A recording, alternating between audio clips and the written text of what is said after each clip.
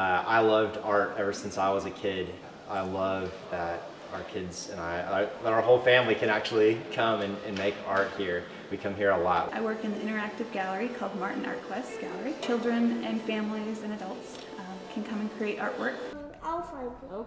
Printmaking, one of our most popular stations. You would start at the art station and you would actually create your own design or we provide images um, that you can use for inspiration. And once we've, we've created that artwork and we help you with the ink, you get to uh, roll ink onto your picture on the phone and then you get to turn the printing press wheel. You can use both hands if you want.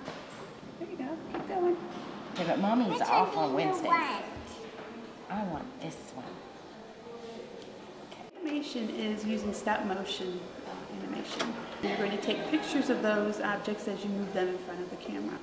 Then the computer will put them together and will create an animated movie. Um, they really love that station.